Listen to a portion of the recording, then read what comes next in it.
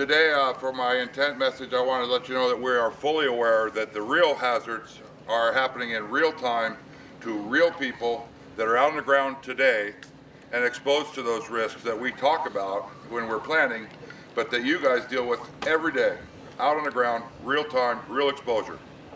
So with that in mind, we'd like to suggest that you use your experience, your knowledge, uh, keep your awareness up, uh, and take good care of one another and uh, get off shift at the end of the day in a safe fashion. Thank you. Good morning, everybody. Jon Bonk, incident meteorologist.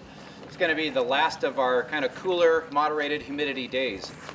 Uh, really, uh, you know, no tremendous impacts from weather. Maybe a little bit of light rain again this morning as some of these lower clouds go by, uh, but uh, otherwise, uh, pretty pretty mild day weather-wise.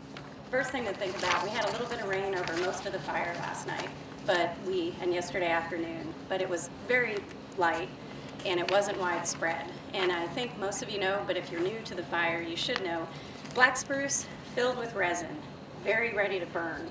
We had a good rain event a few days ago. That's no longer buying us much. Today, it's going to be cool and cooler and moister, right? And so when you get those breaks in the clouds overhead, you might see some fire behavior pick up. That's pretty straightforward. But otherwise, this is a good day to get after your missions, to build those containment lines and recharge yourselves, because from tomorrow on, we're looking at warming and drying, and we'll have increased fire behavior and activity. Even if we get another little shot of rain here and there today, that's what I would expect going forward. So take care of yourselves today and uh, pay attention to how everybody's feeling because you're not going to get much relief over the next week. And we need you um. So looking forward to seeing you out there and thanks for all the good work.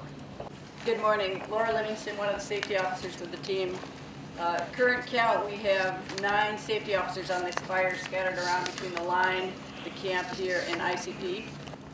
So at last count, there were approximately 700 of you out on the line or here in camp. Um, so nine of us can only go so far. We're counting on you guys to be our eyes and ears on the ground.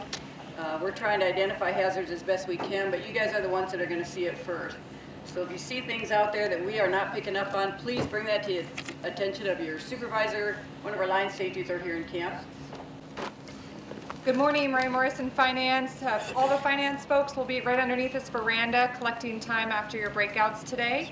And for those in the field, if you can please work with your division or your branch to make sure your time gets shuttled in every couple days, we'd sure appreciate it. Thanks so much. Good morning, Tim Dabney, Agency Administrator, and happy Independence Day, Americans. Uh, thank you. Little shout out there, yeah. All right, uh, thank you on behalf of Martin, Perfect Perch, Lincoln, McLeod, and Chit Chatanika River Corridor communities uh, for spending your 4th of July protecting their homes and lives, and for some of you, protecting your own homes. Uh, right here in camp and out on the line there and back in Fairbanks, uh, there are folks that are uh, working on this fire to protect their own homes. So uh, uh, have a great shift and uh, thanks for being away from your homes to help us with this. Well, good morning, everybody. Uh, again, too, also wanted to thank everybody. Uh, happy 4th of July and for being out here and uh, not at home. Uh, but let's try not to have too many fireworks out there on the line today. Do want to make sure that we're keeping up with that common operating picture that we've been talking about. Uh, we changed some names. This is Moose uh, Base Camp. it's Pearl ICP and it's Shovel Staging. we've moved the ICP, the command post, out of of the Moose Mountain Camp area to try to make a little more room for the folks that are here and a little more room for the uh, IMT to be able to, to produce all the stuff we need to support uh, you in the field. And my message for today is to remember that, that what you do out here matters. Whether you're uh, in camp here, uh, serving food, helping uh, to park cars, you're on the line putting in uh, hand line, dozer line, we're putting up sprinklers around town, around the houses, or we're in town talking to people uh, what you do out there, every one of us, what we do matters.